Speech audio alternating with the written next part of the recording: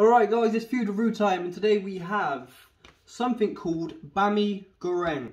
I probably said that completely wrong, but it's a dish we picked up from Lidl's. Uh, it costs £6. It says it serves two, but it probably could serve more to be honest with you. Um, it's a dish from Indonesia.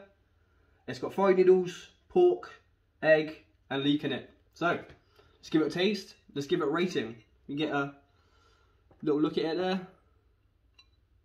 Right, let's give it a taste. Let's give it a rating.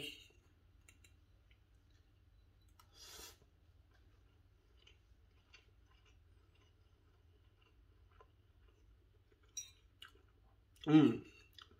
That's really nice. That's really nice.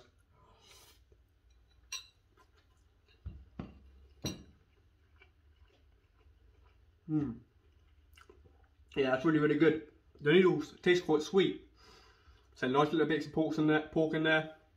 Add the egg and a leek. Yeah, it's really good. If you like me, you like your pastas, you like your noodle dishes, yeah, definitely give it a go.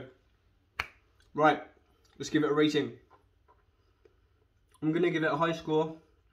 I'm going to give it an 8.5. Guys, get down to Lidl's, give it a try. Let me know what you think. Peace.